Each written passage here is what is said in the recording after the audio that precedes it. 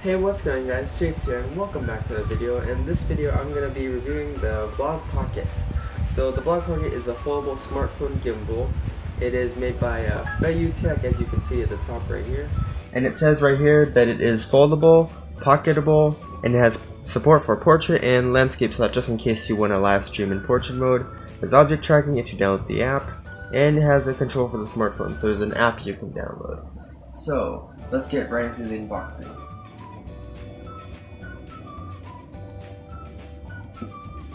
So when we open up the box, we see the quick start guide, which has a ton of languages for here. I mean, it's only like a few pages, it just has so many languages.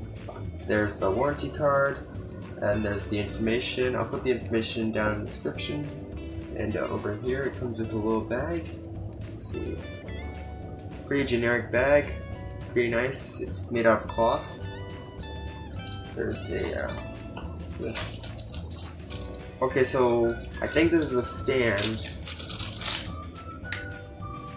Yeah, it's a stand. So you can like screw this on top or something. Let's get to the main thing. This is the uh, the Vlog Pocket itself by Feiyu. It's pretty premium looking. So yeah, let's give it a try.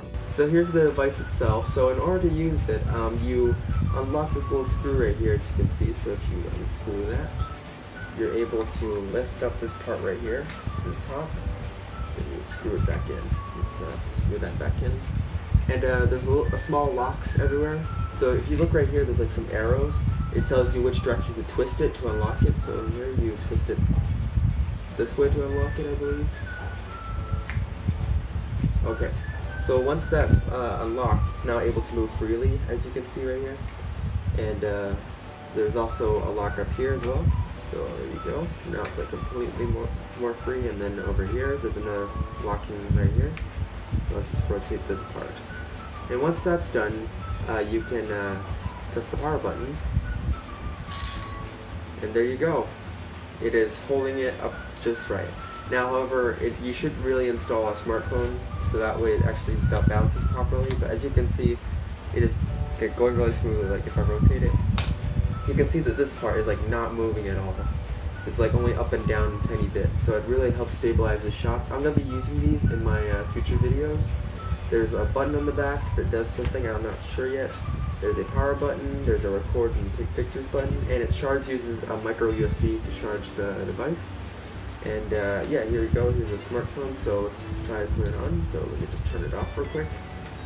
And uh, let's attach this on. Now the best thing to do is to put in the center. However, because of the way the, the power button is positioned on this device, it's not going to uh, work properly, so it won't go completely like straight, but if I turn it on, it should there we go. So as you can see, it's holding in place just right. I am moving my hand around. It is staying completely still, and I can like do all this and stuff, and it still will stay still. So like when running, you're just going to be having small up and down. But if you like do like this, maybe if you do like this, you would shake less and stuff. So yeah, really good for uh, making videos. I will be using this, like I said. Now let's see the stand. So this can be used as a small little stand. Uh, so let's uh, try that out. So, that on. Now, one main selling point of this device is that it is uh, very pocketable, so it can fit in your pocket, but I highly doubt that. but, I mean, it is still portable, though. So as you can see, the little stand, it, if it's like not really balanced, you can adjust it a tiny bit, perhaps, and then, yeah, there you go. So you can uh, stand it up and stuff. So yeah, um, I'm going to record a video on here so you guys can see what it's like. So here's a uh, quick demo of the uh, the gimbal. So as you can see, it's really smooth. Um, usually, if I put it handheld, it's gonna be like very very shaky.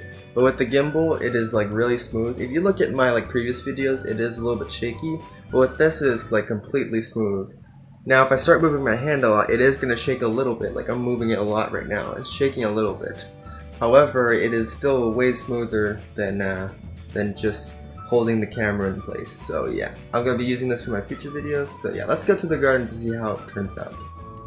So here's the gimbal in action. So uh, as you can see, it's really smooth. I'm gonna move my hand around a lot. If I move my hand around a lot, it does shake, but it's way less than what I'm doing right now. Can't really see that right now, but I'm like moving my hand like a whole like 180 degrees, and you can like turn around and stuff like that. It's really nice. So yeah, I have this this my garden. It's really cool. It is raining a little bit right now. So yeah.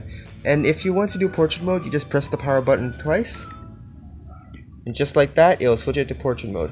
Hopefully the, the video doesn't like turns upside down when I put it out, but yeah, I'll, I'll probably flip it in post or something.